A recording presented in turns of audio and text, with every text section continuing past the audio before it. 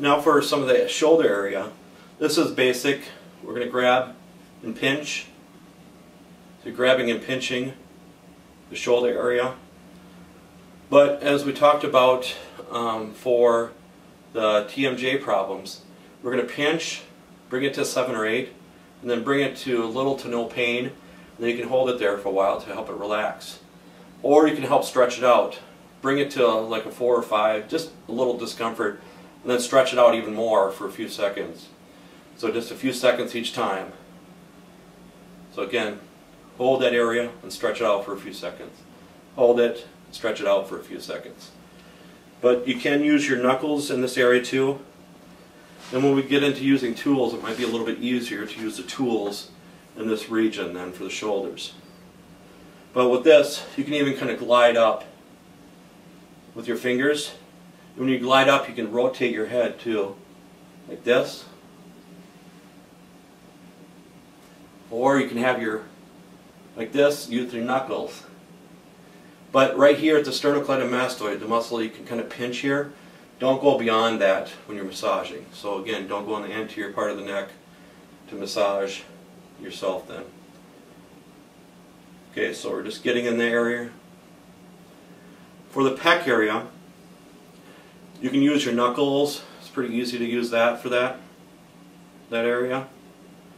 Or again, you can just compress, bring it to 7 or 8, and bring it to little to no pressure. Some, I've heard people call it hold and fold. So you're holding it and then you're folding it. So when you're folding the area, it's contracting it so you're not having as much stretch with the muscle. So it's relaxing the muscle then is what it's doing. Or again, you can bring it to like a 4 or 5 and stretch it out even more. But most people's pecs and shoulders are internally rotated like this. So that's why stretching them out and massaging them. And you can even kind of use your knuckles and kind of slide too if you want for the pec. Or again, just hold that area or kind of twist that area too. And some people can go like circular friction. So it's a little bit deeper pressure like this. And for women, for the breast tissue area, try not to put a lot of pressure on the breast tissue.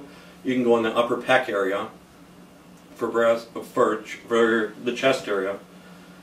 But you can even use your heel or your palm to get these areas too. But whenever you perform on one side, make sure you perform on the other side too. Okay, so for the deltoid region, you can also, like this, can kind of squeeze, or you can even slide too. So if you didn't have your shirt off, if you had your shirt off, you could kind of slide even more, or you could use your knuckles in this area.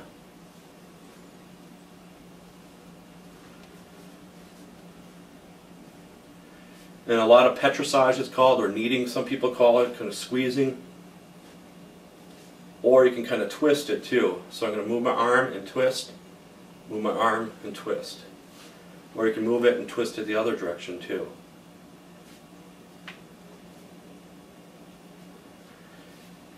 Another option, if you had some lotion, you can plant your your palm and rotate like this but all my, my fingers are planted and my palm's moving like this. So again, like this it's going. Or you can go like this and go the other direction. So plant your palm and your fingers the other way. But you just got to move your arm around a little bit to get a little bit deeper pressure.